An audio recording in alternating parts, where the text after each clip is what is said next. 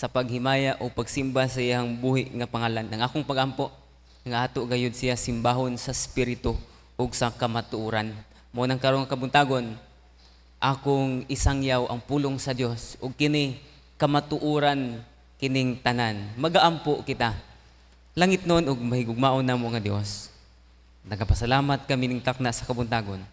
Salamat Ginoong Dios sa pagpukaw kanamo ug sa paghatag kanamo og kusog aron sa pagbangon. Kay gusto namo Ginoo nga simbahon ka. Salamat Lord kay imong grasya kanunay nimo nga napatagamtam kanamo sa mga tag-adlaw. Ablihi ang among nauna, ablihi Ginoo ang among mga mata para among makita ang unsang imong dako kayo nga plano alang kanamong tanan. Dalaygon ka o Dios sa walay katapusan sa pangalan ni Jesus. Amen ug amen. Siguro sa makadaghan na nga beses nga inyong nadungog gid kasilagan sa Dios ang sala apan iyang gihigugma ang mga makasasala.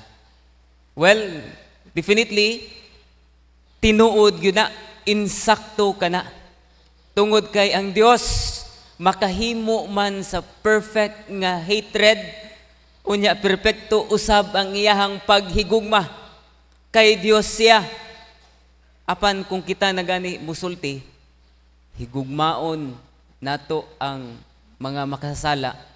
Unya kasilagan nato ang ilang mga sala. Naa gihapoy lama na igsoon. Dili gyud perfect. Kanunay gyud magtanom og dumot sa tawo nga nakasala kanato o labi na sa mga makasasala. Nga intentionally o nahimo na ilang habit ang pagpakasala karon nga kabuntagon atong tanawon nganong gikasilagan gayud sa Dios? Ang sala. Nganong di man gyud mahimuot ang Dios sa atong mga sala? Ang atong Ginoo balaan. Amen? Gisulti diha sa Salmo 5:4 ang gisulti sa pulong sa Dios kay ikaw dili Dios nga malipay diha sa pagkadautan. Ang dautan dili magpuyo uban kanimo. Ang atong Dios gamhanan, ang atong Dios balaan ug ang sala mao kini ang usa sa rason gusto gud niya nga pakgangon gusto niya nga buntugon. O gani napildi na. Tungod kay iya nang gipadala ang iyang bugto nga anak nga si Ginoong Kristo ug nabuntog na ang gahom sa sala ug kamatayon. Nganong iya kini nga gikasilagan? Tungod kay sukwahi kini sa iyang kinaiya. Isip usa ka balaan mahigugmaon nga Dios mo nang ang Dios di gud siya gusto o di gud siya ganahan makakita og makasasala. Usahay no ang sayop nato nga perspective sama sa akong gisulti ganina kasilagan nato ang sala ug higugmaon nato ang mga makasasala. Murag wala man ako na nakita Uh, sa kapila na ko ka gibasa ang Biblia. Four times, lain-lain nga version, cover to cover. Pero wala gyud na nga exact nga passage sa Biblia. Pero ang thought, naa. Kabalo ba mo igsuon? Many times in the Bible, kung aduna gani makasasala, kung adunay mga makasasala, ginasilutan kana sa Dios ginasilutan sa Dios ang mga makasasala. Nakita ba mo nga ang Dios nagsilot lamang sa sala? Walay tao nga na-involved. Ang naghimo, ang nagbuhat sa sala, mo iyang gisilutan. Mo nang it is safe to declare and say, God hates sin, and also hate the one who does the sin. He hates sinners. Pero ang atong buhi nga Dios makahimo gyud sa pagkasilag sa sala o makahimo usab siya sa paghigugma sa maka makasasala. Nindot kayo igsuon kung atong tan-awon ang Biblia. Gikasilagan gayud sa Dios ang mga sala.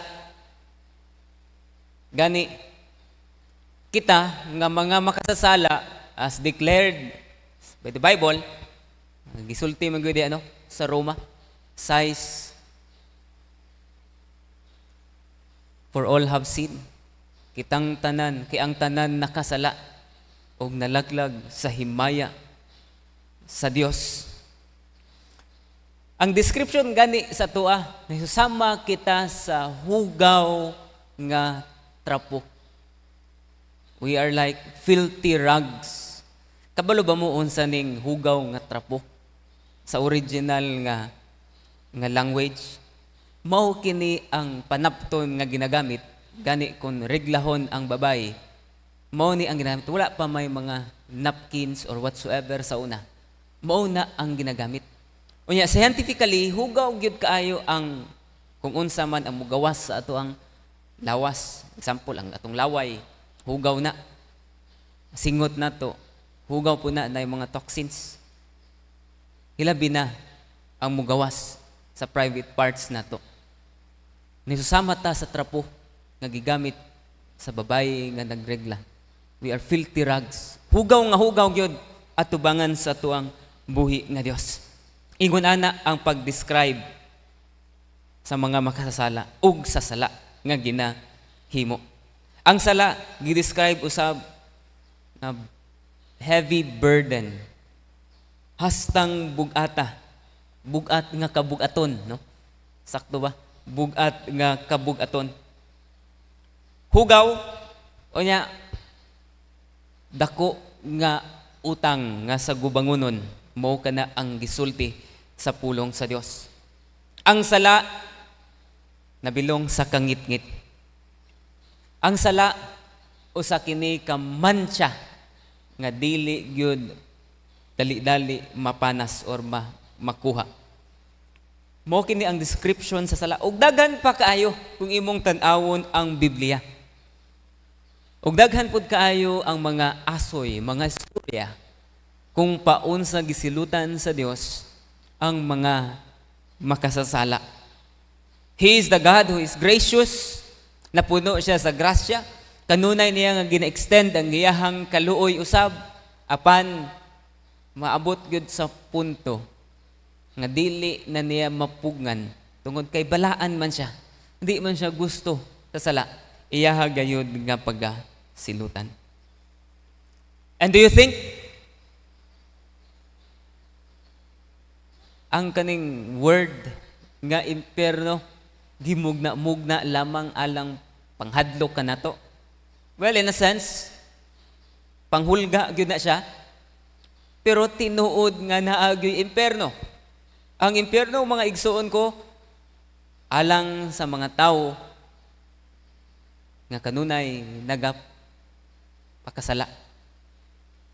Ang impyerno, wala kay relasyon di sa atong buhi nga Dios, walay kabag-uhan nga maabot sa imong kinabuhi, walay transformation, nagpakalunod ka sa sala, then didto pud ta malunod sa impyerno. Sa final judgment, didto gid ta. Duha lamang ang eternidad, langit o impyerno. Mo nang ang Dios, na siya'y gihimo nga ultimate nga solusyon sa atong mga sala sa pagpadala sa iyang bugto nga anak alang kanato. Iyahagyod nga gi kasilagan ang sala. Tungod kay number one, gihimo kita sa tuang buhi nga Dios in His own image and likeness. No? Tungod kay nalipay kaayo siya. Iyahagyod nga gi-enjoy, na-enjoy niya ang pakigrelasyon, ang atong relasyon diha kaniya. Si Adan ug si Eva, kanunay makakonverse, makig-istoryahanay face to face sa Ginoo. Maglakaw sila together sa Ginoo. Magahimo sila sa mga butang. Apan, tungod sa sala, nahimo nga nahimulag ang katawhan diha sa Dios. Mao kana ang rason nganong gikasilagan sa Dios ang sala. Because sin separates us. Makapahimulag ka nato sa atuang buhi nga Dios. Many times I did sins sa ako ang kinabuhi. O kabalo batang ang atua dayon nga reaction mupalayo kita. Mu-withdraw kita. Hilabi na sa grupo sa mga nagasimba diha sa ato ang buhi nga Dios. Sa pundok sa mga Kristohanon mupalayo kita kung kita kanunay nagahimo sa sala. Sa una, giingnan mi sa usa ka pastor. Asa naman ning kauban ninyo sa grupo nga young people? Wa naman nagpakita. Naghatag mi og mga rason. Nindot kay mga rason. Ah, siguro nabisi sa iyang pag-eskwela. Ah, kaya nahimo man siyang varsity sa eskwelahan. Siguro nabisi pod sa mga extracurricular curricular nga mga activities. Niingon din ang pastor. Ah, siguro nakasala. Kaya di naman magpakita. Ang sala kanunay kana nga nagapaulipon kanato. Kanunay ang sala nga naga produce og guilt. Maulaw ta, di na ta magpakita, nagapahimulag kanato ang sala sa ato ang balaan nga Dios. Mao na ang gikasilagan sa Ginoo. Ang sala tungod kay kini nakapahimulag kanato diha sa iyahang presensya. Kabalo ba mo mga kiigsunan? Tungod sa sala, mo nang si Adan o si Eva, after nila nga makasala, nga sa maong prutas, Tuloy, dili mansanas ang prutas ha. Prutas lang siya. Mo'y gisulti. After nila nakakaon sa maong prutas, ang ilahang initial nga reaction after which, nitago sila. Nitago sila. Kay naulaw sila sa balaan nga Dios. Nangita sila og mga dahon ilang gitabon sa ilahang mga lawas tungod kay naulaw sila. Sin always separates us from God.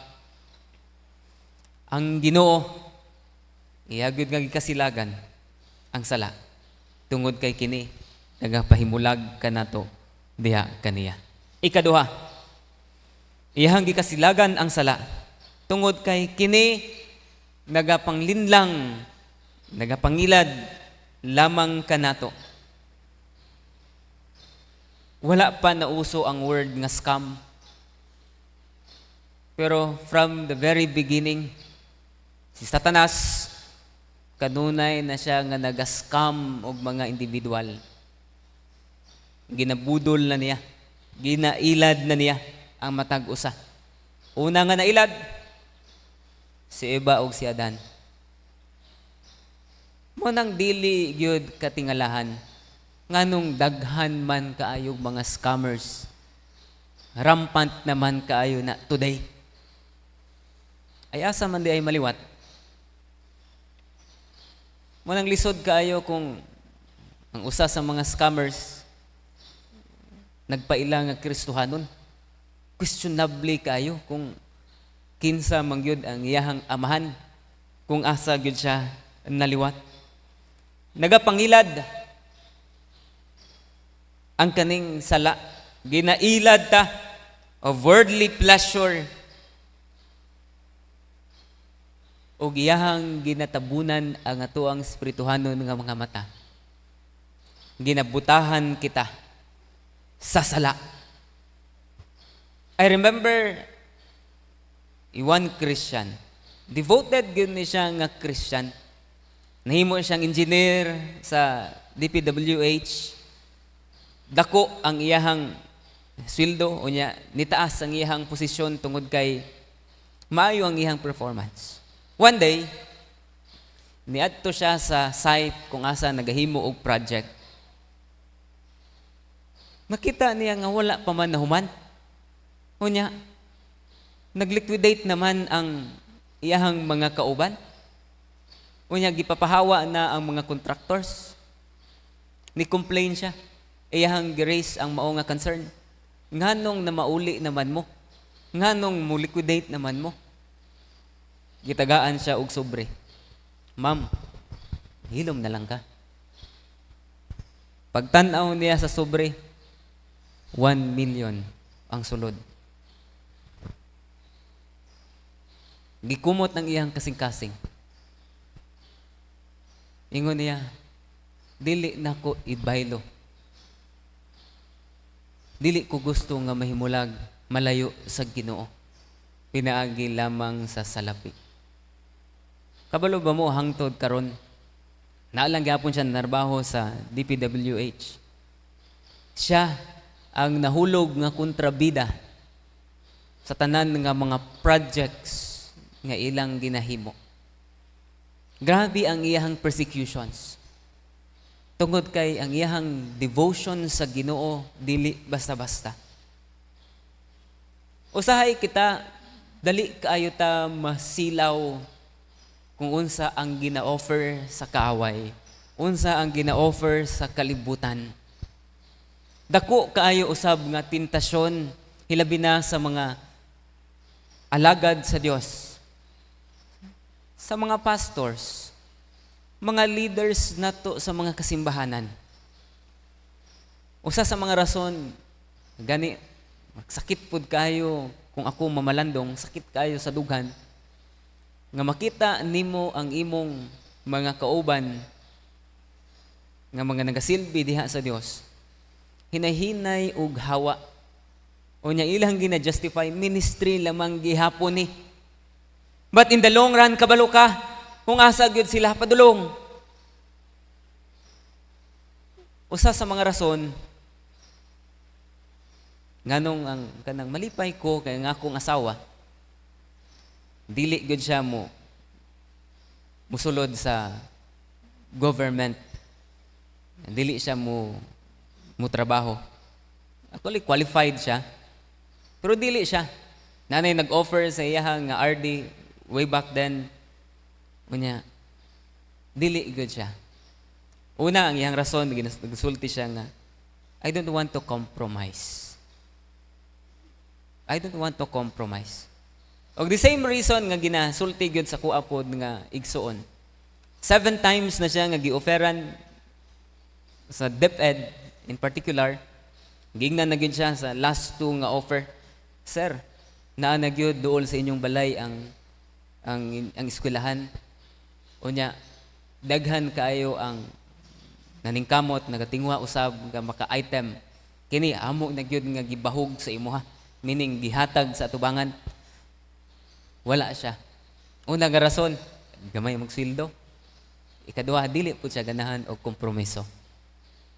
Kaya iyang nakita, according sa iyang mga classmates, oh, muhimo gina sila og mga reports in advance.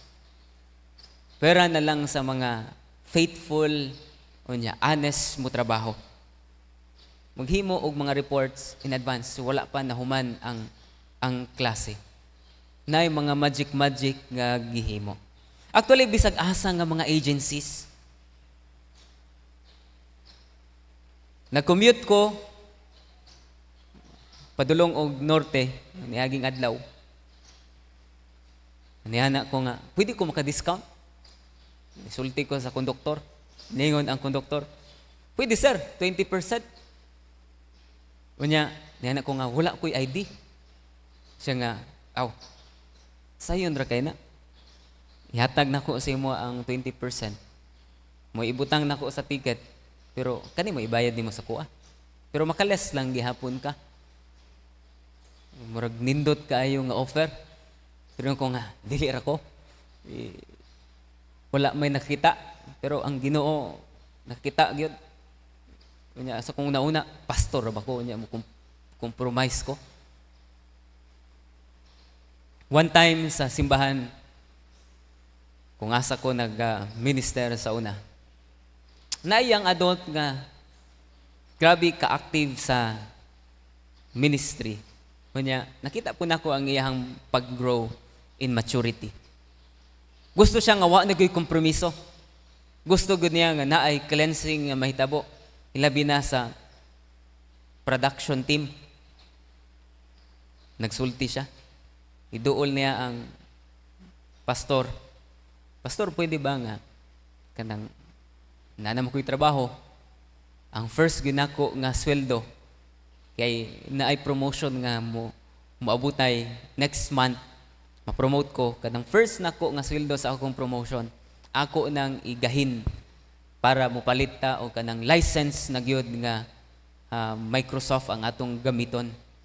Unya kay iyang ang ginagamit manggod sa hilabi na sa appeal ang easy worship.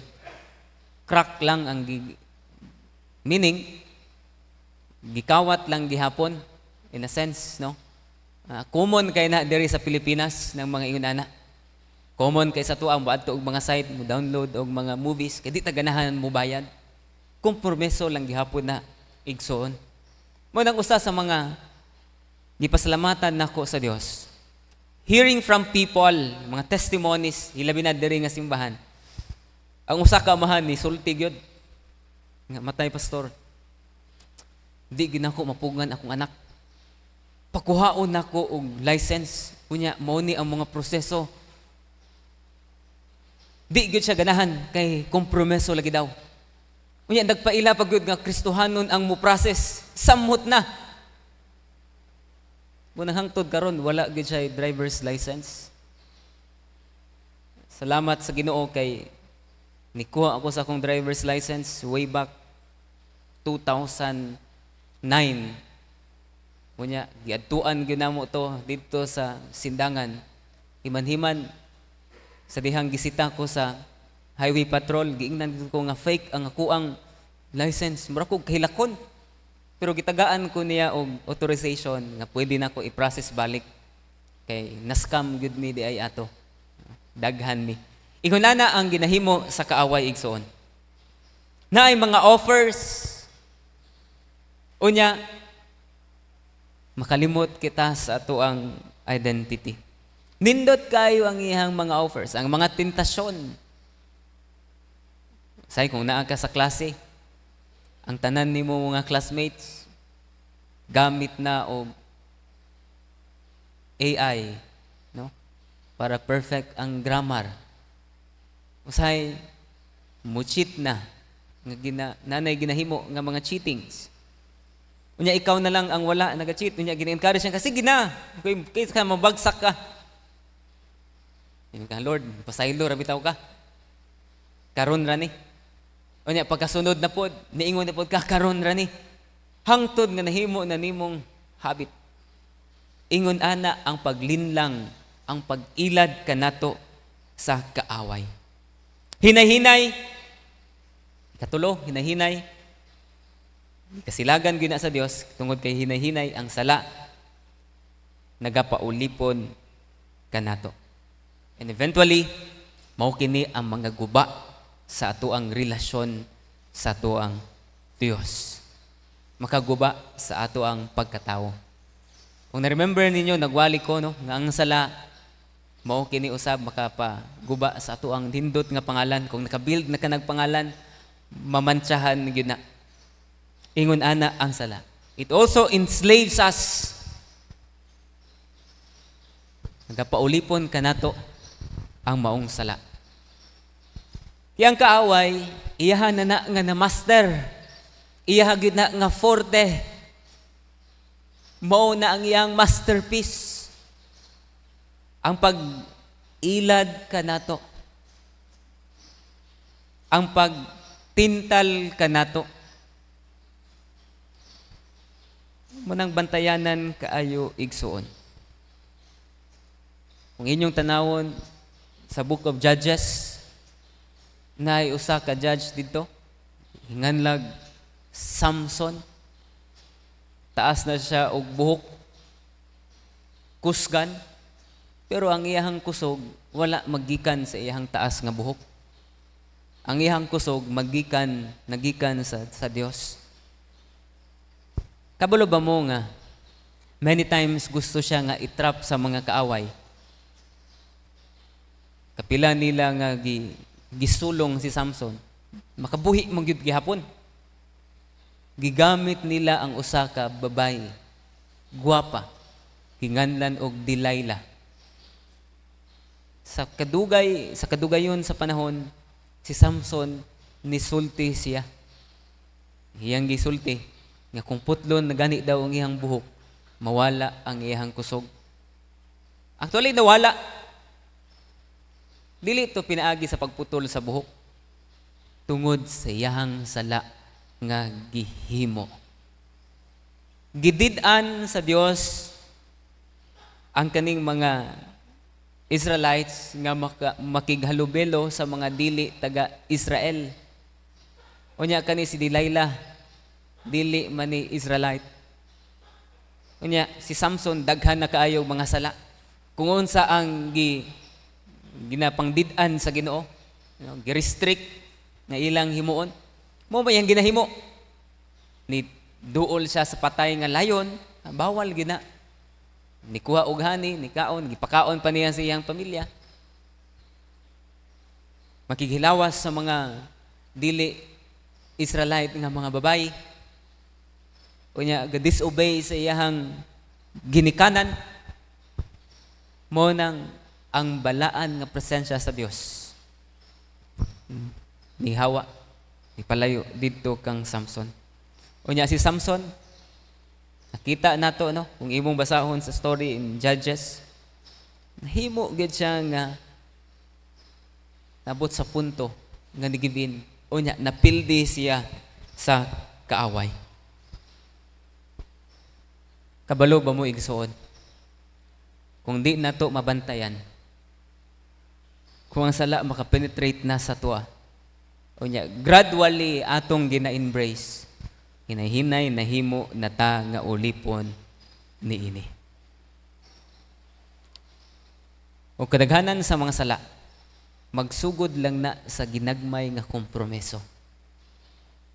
Ginagmay, kanunay, hangtod sa di magdugay, magkadako, unya di na nato dayon makaya. Mahimulag na ta sa ato ang relasyon sa Ginoo, Grabe na ang ato ang guilt. Mupalayo na ta sa kongregasyon. Mag-inusara na ta. Di na dayon mutawag sa Ginoo. O kini, nganong gikasilagan sa Dios? Kay kun kita kanunay magahimo sa sala, mahinay-hinay nga mga wala ang atuang gugma alang kaniya. Nagingon gyud ang Biblia no. In 1 John 2:15 to 16. Ang gisulti sa pulong sa Dios, Do not love the world or anything in the world. If anyone loves the world, the love of the Father is not in him. For everything in the world, the cravings of the sinful man, the lust of his eyes, and the boasting of what he has, and thus comes not from the Father, but from the world. Si Santiago, kanunay gyud nga naga-warn kanato, nagapahimangno kanato, na dapat dili nato higugmaon, dili nato gakson kung unsa ang naa sa kalibutan. Daghan kayo ang mga testify. O kadaghanan sila ha, kadang mga hamtong na naa sa mga 80s, 70s nga mga pero bilyonaryo. Or mga milyonaryo ingon. Ang kaning kadato orang mga kaptangan di gina madala sa lubong. Di gina madala sa langit. Pero samtang baskog pa grabe man ang pagwaldas-waldas. Unya gikahil, gikalimtan man nila ang Ginoo. Mayo na lang kay naabot sa punto nga niduol sila balik diha sa ato ang buhi nga Dios ang pahimangno ni Santiago kanatong tanan dapat dili nato kambyuhan sa paghigugma sa kalibutan dili nato ibaylo ang atong Ginoo. Dapat kung kita nahigugma para lamang sa tuang buhi nga Dios. Kabalo ko makamemorize kita sa great commandment. Love the Lord your God with all your being, mind, soul, strength. Tanan nato. Higugmaon nato ang Dios. Ug wala nay lain pa. Igsoon. Kabalo ba mo nga kung mahimo kitang higala sa kalibutan, mahimo kitang kaaway sa Dios. Mo na gisulti si Santiago in James 4:4. O gingon pod sa parable sa Luke, we cannot serve two masters. Kung gusto kita mahimong ulipon, dapat ulipon lamang sa tuang buhi nga Dios. Kung mahimo kitang ulipon sa tuang Ginoo, diha nato masinati ang tinuod nga kagawasan. Usahay no? Ang mga words magsulti. O ang kalibutan magsulti. Nga kung nahimo kang ulipon, wala kay kagawasan. Pero diha kang Kristo og na pamatud-an na kini sa kadaghanan og kini ako na pud nga na pamatud-an kung mahimo kitang ulipon ni Kristo ulipon sa Dios mahimo nga atong masinati ang tinuod nga kagawasan ang sala magatintal ka nato nagasulti ka nato o kini ang tinuod nga kagawasan eat drink and be merry Live your life as if mao na ang last. Mamatay ka, di ka makatilaw sa mga kwan sa kalibutan. Kahilayan sa kalibutan. Mo na encouragement nga imong madunggan sa gawas. Hilabi na sa walay mga Ginoo sa ilahang kinabuhi. Apan ang tinuod, nahimo kang ulipon sa sala. Nahimo ka nga ulipon sa yawa kung ikaw kanunay nagahimo niining mga sala isip sumusunod diha kang Kristo. Gikinahanglan nga sama sa ato ang buhi nga Dios. Ato usab nga kasilagan ang sala. Siyempre, dapat kita nga maliwat sa ato ang langit nun nga mahan. Tungod kay kita mga anak man sa kahayag. Wala kita nabilong sa kangit-ngit igsoon Og nasayod kita nga ang Dios nagatinguha sa kanunay nga mo sanctify ka nato. Iha na ta nga giset apart pinaagi sa ihang bugtong anak. Kamatayon og pagbanhaw sa ihang bugtong anak sa nga si Ginoong Kristo. Iyahan na ta og nabilong na ta diha kaniya. Munang sa matag adlaw, sa matag oras, atong tinguhaon nga ato usab mga kasilagan ang sala. Di nato tugutan nga kita mismo mahimong instrumento sa kaaway. Nga kita mismo mahimong instrumento sa kaaway nga kita ang makapastambol, makapasilo sa atong mga isig kaingon nga kita nahimo nga dautan nga ehemplo sa younger generation nga kita mahimong precedence ay Si kuya manggani o, si ate manggani. Kuyog mamiana sa AC-AC. Himo manggani ani. Dili igsoon. Stand for what is right. Kay mao kana ang gusto sa tuang buhi nga Dios. We are to hate sins. Kay mao kana ang gusto sa tuang buhi nga Dios. Kasilagan nato ang sala kay di ta gusto nga mahimulag diha kaniya. Kasilagan nato ang sala kay di ta gusto nga mahanaw ang atong paghigugma diha kaniya. Kasilagan nato ang sala kay di nato gusto nga pasakitan ang balaang espiritu. Ang akong pagampo nga sa tanang higayon pangayoon nato ang grasya pangayoon nato sa kanunay ang langit nun nga kaalam nga gikan sa tuang buhi nga Dios aron mahimo kitang mindful, mahimo kitang mabantayan nato ang atong kaugalingon. Matabangan nato ang matag usa.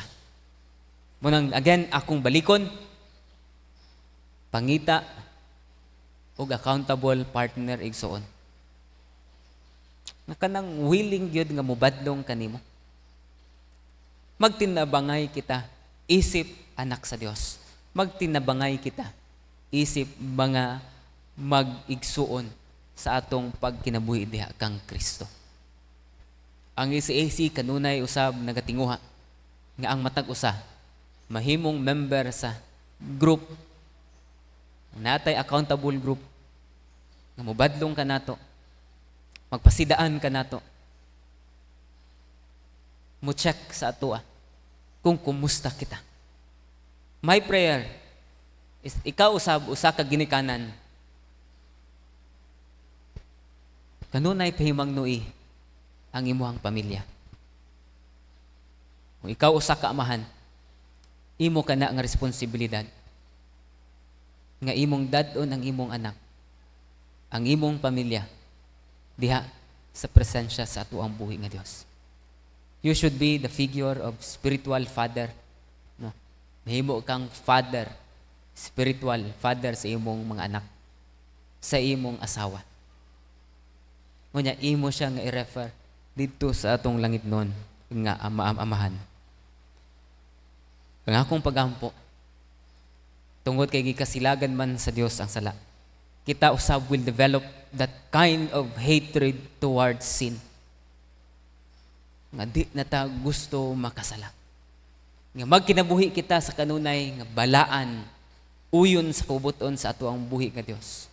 Putli mao ka na ang kinabuhi.